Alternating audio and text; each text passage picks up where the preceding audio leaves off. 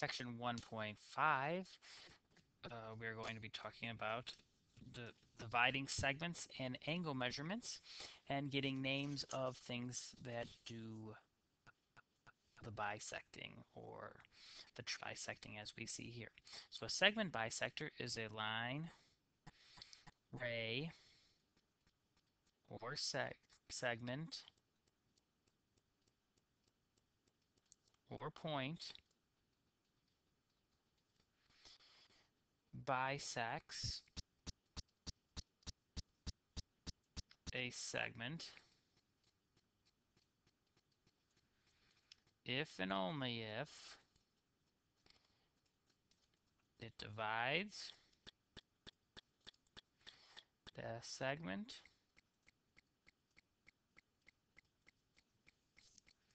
Into two congruent segments.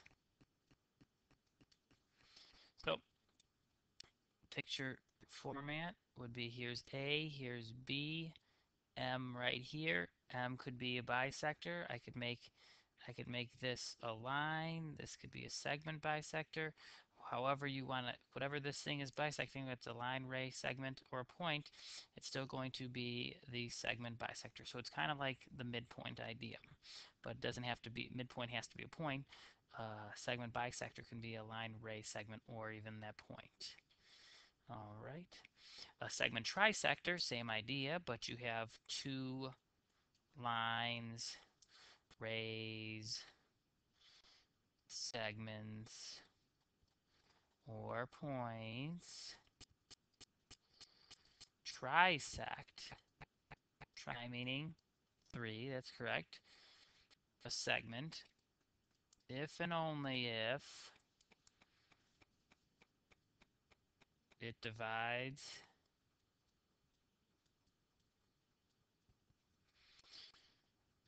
the segment into three congruent segments.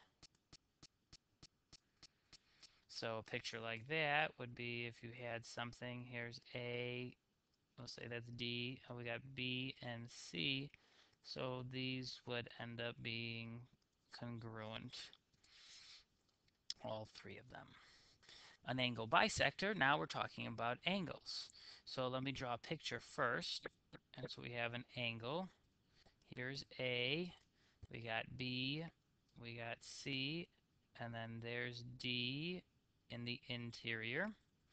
And we can say that BD bisects angle ABC if and only if angle ABD is congruent to angle DBC.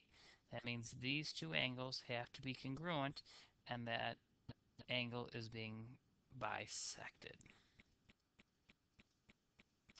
Angle trisector, same idea, but this time an angle instead of being bisected will be trisected, so we'll use a similar picture. BC, but then we'll have D and E in the interior.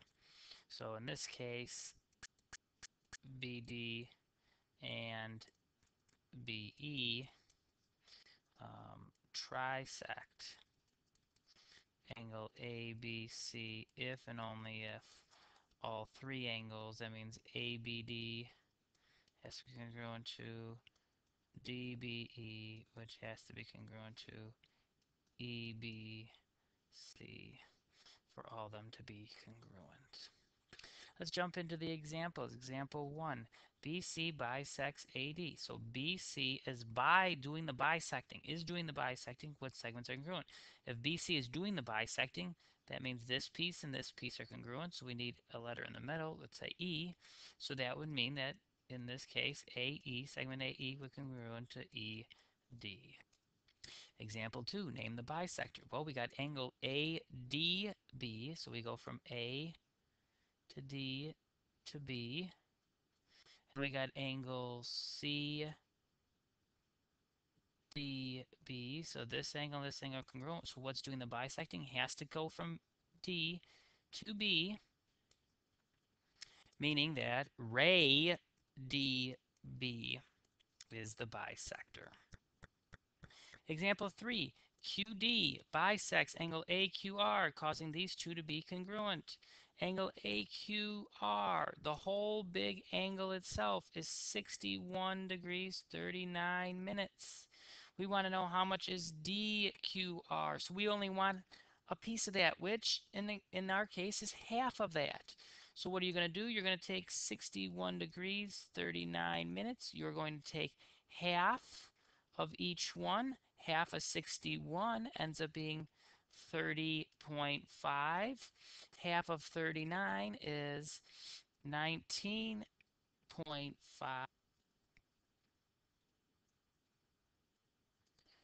Five. So we can't leave it as that. Well, half a degree is how many seconds? 30. So this is saying this is 30 degrees. 30 minutes. This is 19 minutes, and then half of a minute is 30 seconds. So we can combine these two. Final answer, 30 degrees, 49 minutes, 30 seconds would be half of this right here. Example 4, is ABC bisected? ABC trisected is what we're looking for. So are all three of these going to be congruent? Well, what do we know? This one is 6x, 2 is 7x minus 4, 3 is 10x minus 17, and the whole thing is 71. So what can we do? All three added together have to equal 71. Well, let's combine them. We get 23x minus 21 is equal to 71. Add the 21 over. Divide by 23. x equals 4. So now we have to plug it back in and see. Well, measure of angle is 24.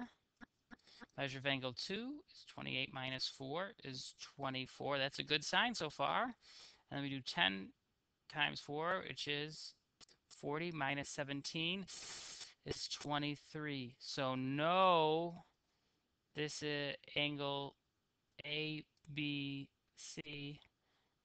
is not trisected. All right, example five, H and R trisect E and M. Well, if something's a trisector, that means all three pieces have to be congruent. So we're solving for x here, and then we want to figure out um, the length of it. So we can say, let's figure out x by setting 3x plus 4 equal to x plus 8. Solve. x is 4, so x equals 2. That means if all of them are um, the same length, that means 3 times 2 plus 4 is 10. So that means if this is 10, this is 10, this is 10, so the length of EM has to equal 30. Last but not least, we got we're turning over not just equations, but we're starting to factor. So in a factoring example, the first thing to do is see if there is a common uh, multiple. So you look at them, they at least all have an x, and they all have the number 5. So you can pull out a 5x, leaving you with 2x squared minus 7x minus 4. Now you can factor by grouping. So you can take the first term, multiply by the last term. So you want two numbers that are going to multiply to negative 8, but add to negative 7. So what are two numbers that multiply to negative 8, but add to negative 7? How about negative 8 and positive 1? So we get negative 8x, positive 1x. This guy comes down. This guy comes down. He stays till the end group the first two, group the second two. So on the first group, you could pull out a 2x, leaving you with x minus 4. Second group, you can't pull out anything. So we leave a, a pull out a plus 1, and we left with x minus 4. These are the same. So yes, we did it correctly. We get 2x plus 1. That's these two. And then we get x minus 4. And then the 5x comes down like it did from the beginning, and we factored completely. That takes us to the end of section 1.5.